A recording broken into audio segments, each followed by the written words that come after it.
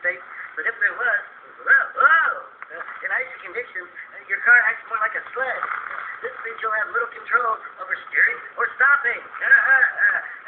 You'll need to increase your speed to vehicles traveling in front of you to at least 9 to 12 seconds. Uh, be cautious around oncoming traffic. Be patient. And remember, slow, controlled actions are the key to driving in snow and ice. Ah!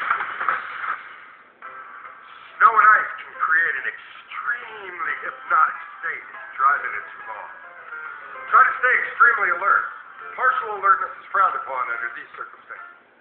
Now watch out for ice on bridges and shady areas.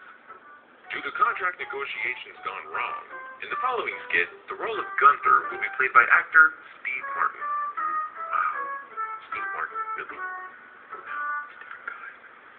Oh, a completely different actor who just happens to have the same name. What are the odds? Enjoy. Uncle Dale! Uncle Dale! What about navigating hills? Uh, well, Gunter, uh, I'd say when navigating hills, either uphill or downhill, it's best not to even try it. You see, in icy conditions, your car acts like a sled, and it's harder to control your stopping and steering. Ergo, it's best to keep you a 9 to 12 second cushion of safety around you, assuming that you use a 3 second cushion of safety in pristine conditions. You see, Gunter, slow, controlled actions are the key to safety in driving in bad weather. I thought slow, controlled actions were the key to dating. no, Gunter, that's an entirely different lecture altogether.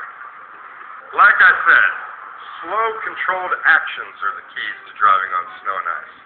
Now, snow chains can be useful to help enhance traction. Vehicles with snow chains on their tires often perform better than vehicles without chains. Otherwise, it would be a waste of time to put them on there, wouldn't it? now, while chains give a good bite on soft, fluffy snow, they tend to slip and slide on packed snow and ice.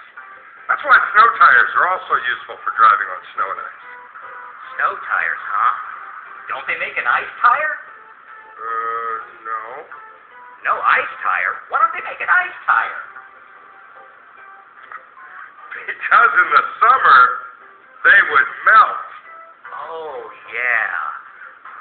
Now, in snow and icy conditions, plan your turns well in advance. Before I leave my house? no, but before you get to the turn, think about how you're going to navigate the turn before you're actually in it.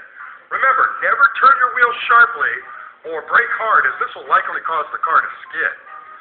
Now, when you need to slow abruptly in snow or ice, brake gradually but firmly, slowing down until you eventually come to a stop. But what if I drive at stick shift? well, in that case, you could try driving in the next highest gear. This will reduce the slippage to a minimum when you try to accelerate. You can also shift down to a lower gear to aid in braking. But the safest thing to do when the streets are covered in snow is just to not drive at all. Take the day off. And play in the snow! At this point, I'd like to stress the importance based on my nephew, Gunter, to only eat the white snow.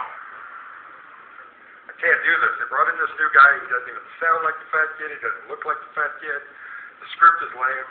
You got to get me out of here. Get that fat kid back, please.